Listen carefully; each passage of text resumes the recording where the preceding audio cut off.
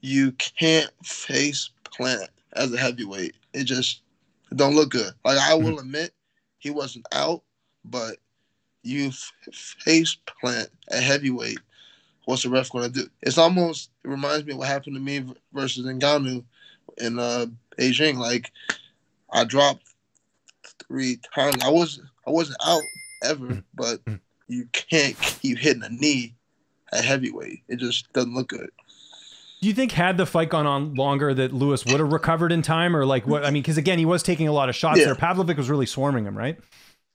Yeah, um, Derrick Lewis, he has a unique ability to like, like eat punches in that w- weird, awkward way. It's not really. I don't even know how to describe it, but like he almost inv- invites you to like bum rush him because that's what he wants. And maybe he, he could have countered him, or maybe Pavlovich takes him down, and then it gets even worse from there. I guess we'll never know, but it. I guess it. I'm not gonna blame her, but I also understand why people are saying it was a bit early. I get it, but again, you cannot face Plant as a heavyweight. Just looks bad. Do, do you think they do the rematch? Is it needed, or do you think they're going to move on from it? Just uh, again, I know you're not the matchmaker, but I was just curious your thoughts on that. If I'm Pavlovich, I say no. I say I won.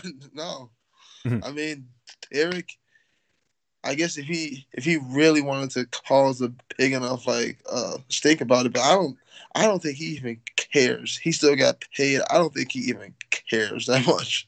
Okay, fair enough. And, and where does Lewis go from here? If they, I mean, obviously it is a loss in his record, regardless of what you thought of the stoppage. Like that's a couple uh, knockout losses he's had now. Uh, where where do you think he goes from here?